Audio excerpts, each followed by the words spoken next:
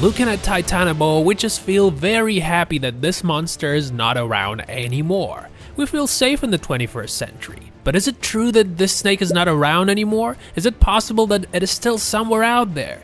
That's what we'll try to figure out in today's video. We'll talk about some of the things that scientists been talking about and we'll also show you some real shocking photos and videos that can undermine the general version about the existence of the prehistoric snake.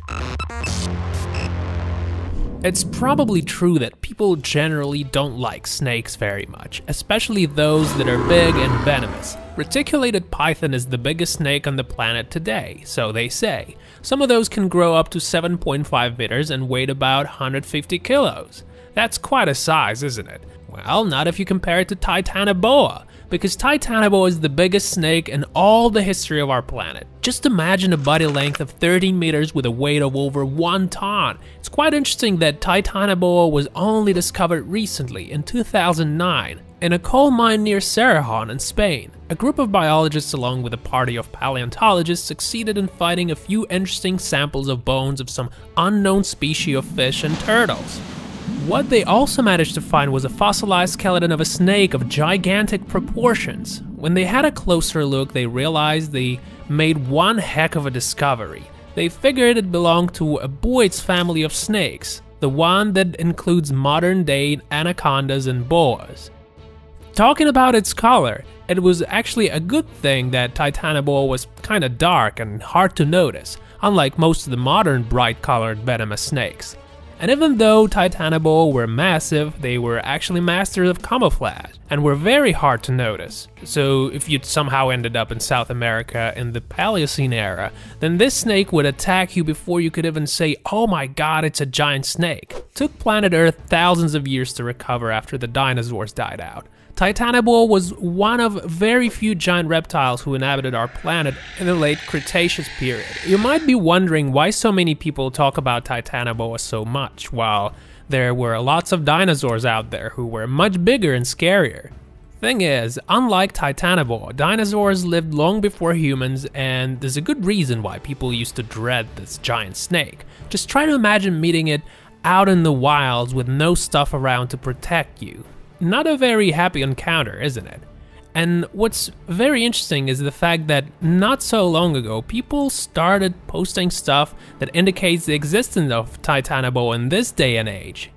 Alright, and so with that being said, we can get to some proof of a possible existence of the giant snake in the modern world. Stay with us and you'll see some real giant snakes from Borneo in Africa who might very well be descendants of the famous Titanoboa. Don't go away.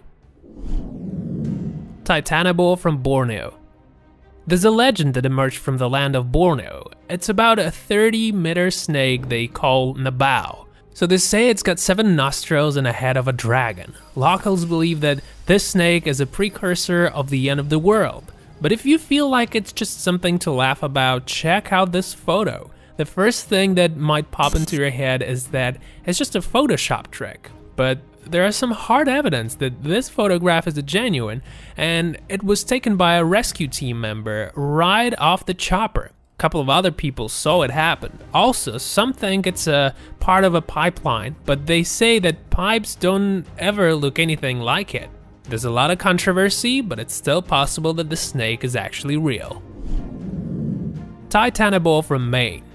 On Saturday of the 20th of August in 2016, at about 3 p.m., a giant shed skin of a snake was found in Cumberland. It was 3.6 meters long. Local police got interested in the finding, so they took a photo of it. Generally, there are many kinds of snakes out in America, and some of those are really massive. So it seems a bit odd that there's so much hustle around this particular piece of skin. But turns out there were many reports from people who saw some very unusually big snake they call Wessie. Now, there's no proof that the skin belongs to Wessie, but if that's true, there might be a giant anaconda crawling somewhere around that area.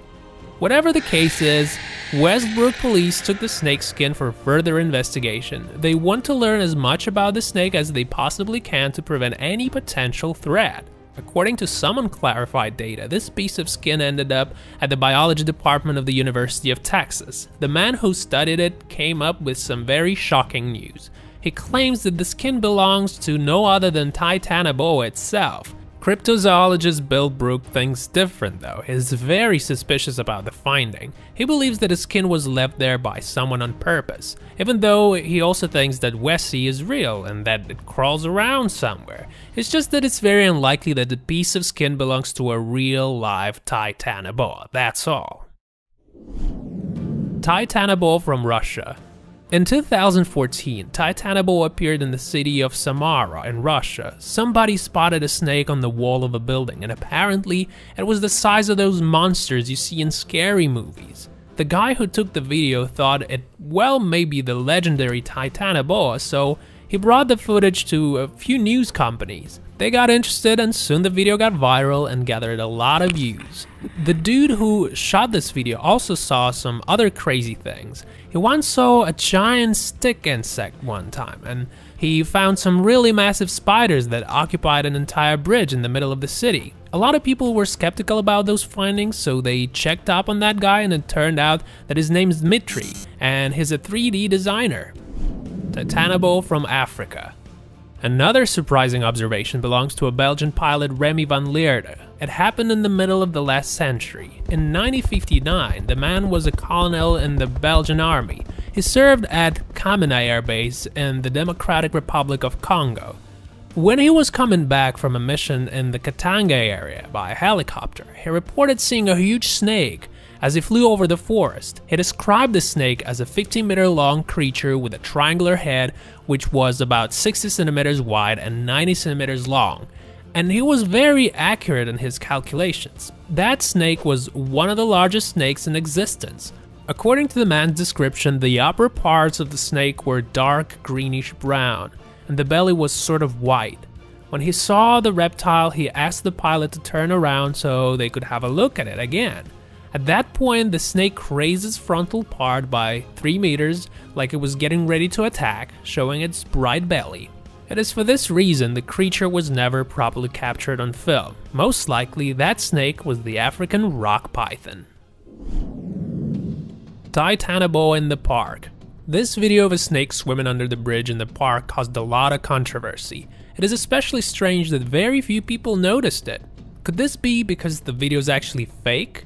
Could be, but the fact of the matter is that a very big snake was found in Big Cypress National Park in US, and according to the report, it was a female snake that laid as much as 73 eggs. Rumors that it's Titanoboa spread across the internet very fast, but then some other information appeared that said it wasn't a prehistoric monster at all. According to some reports, the snake found in Big Cypress Park was really a female that laid 73 eggs. It's just that it was a 5 meter python, the largest one in the reserve. Terror of the Amazon. Natives who live near the Amazon River say that there are some truly huge snakes out there, the kind that makes the legendary anaconda look ridiculously small. Indigenous Peruvian Amazon cultures call these monsters Yakumama and Black Bow. According to them, these giants reach over 50 meters in length, and their heads are something about 180 centimeters wide. A huge snake like that can knock its victim down. They can bend trees and even slightly change river currents if they're in the water. American explorer and Yakumama hunter Mike Warner believes that this monstrous snake is, in fact, Titanoboa. He spoke to hundreds of locals who encountered the snake. Mike said that people who live on the shores of the Amazon describe this huge snake as one that makes water follow it. It's also interesting that according to Mike, most of the witnesses who saw Yakumama didn't spend much time studying it. They were too damn scared for their lives, so there isn't much recorded data about this particular monster. So is it possible that Titanoboa will ever come back? I think a lot of people would be interested to know if the existence of Titanoboa is possible in this day and age from a scientific point of view. Since snakes are cold-blooded animals, it seems logical to assume that the habitat of this creature should be somewhat warmer than it was assumed before, something like an average annual temperature of about 30 to 34 degrees Celsius. It was actually the warm climate of the Earth tens of millions of years ago that allowed Titanoboa to reach such great size. So if global warming continues, the return of the great reptile is quite possible. And that's bad news, by the way. But the good news is that this will not happen in the near future, since it takes a long time, like millions of years, for a new species of animals to appear. Alright, that's all for now. Press the like button if you liked the video, subscribe and smash the bell to stay notified of new stuff. Thanks for watching, and we'll see you next time.